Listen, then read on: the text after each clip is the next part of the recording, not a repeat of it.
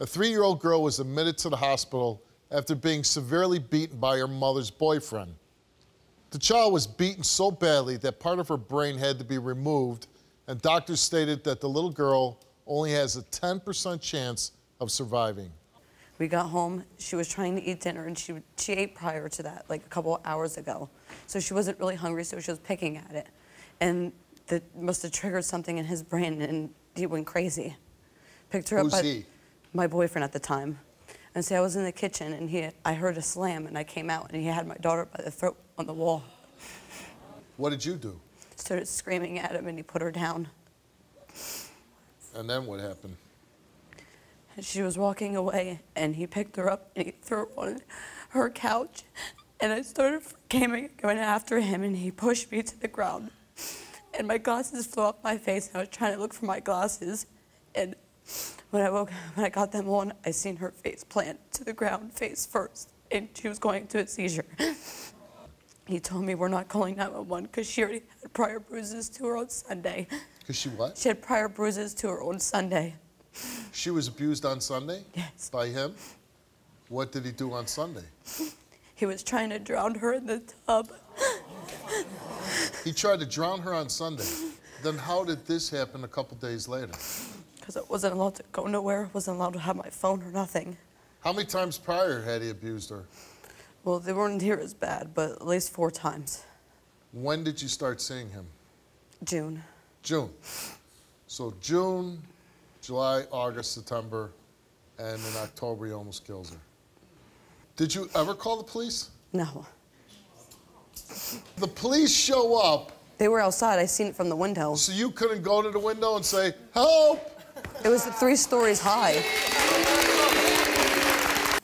I mean, they had to remove part of your Yes. daughter's brain. And Children and Youth was at my house the same day that that happened. Seen And? name it Black and Blues and didn't ask her nothing. So it's their fault. No, it's not their fault. Whose fault. fault is it? Mine.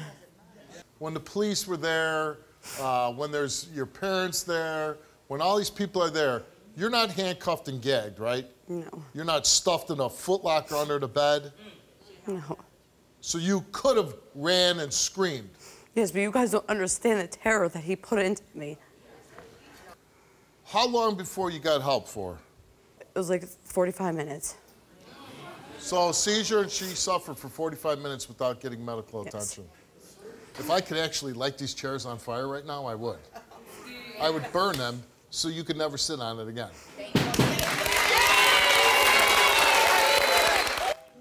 Do you think that if your daughter were to recover, and I'll say this, I really hope she does. Just um, going to. Well, let's hope so.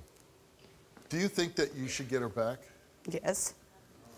How would we trust you that you wouldn't put her in a situation? What if a, another 19 year old goofball comes along and imprisons you again? It's not going to happen again because I don't Why? want nobody else. Samantha is my dad's ex fiance, and they had a daughter together. After she left my dad, she started going downhill, so we stopped talking. The doctor said that my sister has a 10% chance of living, and if she does recover, she'll probably most likely be in a wheelchair. She'll be tube fed. I think Sam had a part of it. What all your You're not in this people believe. situation, you I don't understand. No, I wouldn't allow to be in your situation. I wouldn't allow anybody to hurt my children. You think I allowed her? That is my You- sister no. that you allowed you to get started. I did not allow for her. to- You Yes, seriously you think I wanted this to happen? Are you kidding me? September I 7th. did not. You went back. Yes, you didn't know what the I things called that happened Children Youth. between Children Youth them. was there to help you. I called them so many times. Sit There were so many opportunities that you could have gotten her out, and you did not get her out. How about the time when you were out in the car driving around? Wasn't there because he was there on with, with the children and youth case worker. Why didn't you go to a police station? The day before this all happened, you went to your sister's house by yourself. Why didn't you do something then? You don't think he was lingering around? He was Oh, around. how about get real? Get real. You sound pathetic. What would he do to you if he found out you said something to your sister or called the police? What would he do to you? My daughter and I both wouldn't be alive. Yeah, right. I tried everything I could to get my granddaughter and daughter out of there. And I knew stuff was going on in there. I seen bruises on my daughter and granddaughter. I tried to get my daughter to leave, and he wouldn't let her g- leave. But knowing everything that I know, hearing your daughter tell the story today, You don't think she did anything wrong? I do. I think I do think she could have got my granddaughter out of there. This 19 year old kid who just came in my daughter's life won't allow me, grandma, to see my granddaughter. Oh, I went to his house. And They wouldn't let me in. He wouldn't let me in to see her. I And said, what I did you wanna- do? I said I want to see my granddaughter. and what happened? They shut the door in my face, and I called the cops. And what happened? Not really much. Your daughter was being abused by a man who came into the relationship as a domestic abuser, and then you see your daughter with a black eye, and you didn't call the police. Not that time. But you I called didn't. the police because he wouldn't let us see your granddaughter. Mm-hmm. I called the cops and children and youth, and children and youth didn't want to do anything to help me. So I didn't Why really did know you call children and youth, though? for the him abusing my granddaughter and daughter. How did you know about that? I've seen the bruises on my granddaughter When was this? in, on the Fourth of July. Oh, so the abuse already had started on the mm-hmm. 4th of July. Mm-hmm. Your daughter said that didn't start until months later. Do you feel you did enough to protect your daughter and your granddaughter? No, I felt that I wanted to do more, but I didn't know what to do. You had opportunity to get your daughter help.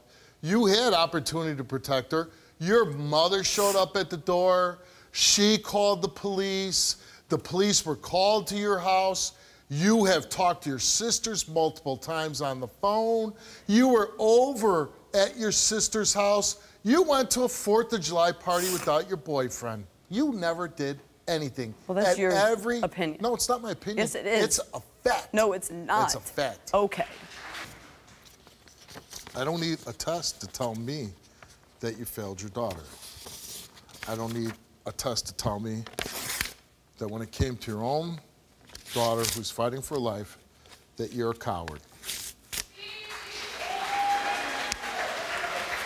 I don't need a test to tell me that you're one of the most miserable mothers. Thank you. ever- You're a Oh, you, oh, look at the fight in her.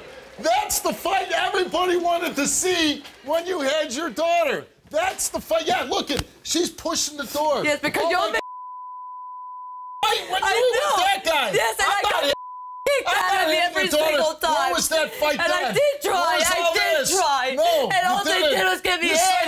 your daughter sisters, You didn't say anything. Yes, 'cause Not it was word. me. You didn't do That was anything. my fight between all this him and fight I. that you were doing, Yes, that you was should have our been doing fight. it My then. daughter had now nothing to do daughter with it. might die. My daughter, no, because she's not gonna of die.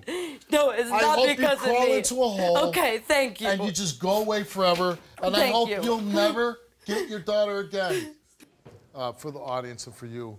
And basically, uh, the lie detector test did you cause any of your daughter's injuries? She answered no. She told the truth. But to me, that means nothing. Because she didn't stop the injuries, but she's exposed, and everybody in that town where you're from who thinks that uh, she's to blame, I think she's to blame. That just two days after Samantha's appearance on my show, she was arrested and charged with felony counts of endangering the welfare of children, obstruction of a child abuse case, and hindering apprehension for prosecution.